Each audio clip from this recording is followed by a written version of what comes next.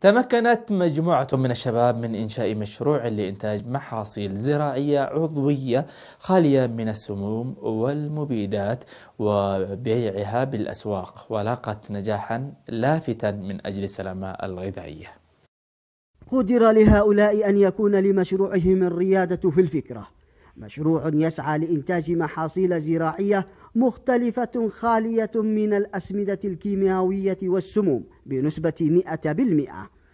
المرحلة الأولى تكللت بالنجاح في محصولي الخيار والطماطم ويتم حاليا تجهيز أرض زراعية أخرى ضمن مشروعهم الثاني نظرا للأهمية المتزايدة لسلامة الغذاء آه، اتجهت معظم الدول المتقدمة لمنهج الزراعة العضوية نظرا لكي تحافظ على نظافة وإنتاج منتج نظيف يحافظ على آه، البيئة والصحة وأيضا ينمي الاقتصاد.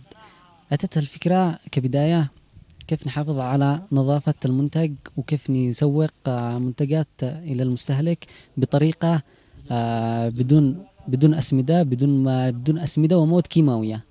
الظروف الاقتصادية المتردية والبطالة المتفشية وقبل ذلك اكتظاظ السوق بمحاصيل زراعية تعج بأنواع مختلفة من السموم ومشبعة بالمبيدات هي ما خلقت فكرة مشروعهم وبجهد ذاتي أثبتت نجاحه تحاليل مختبرات وزارة الزراعة بصنعاء.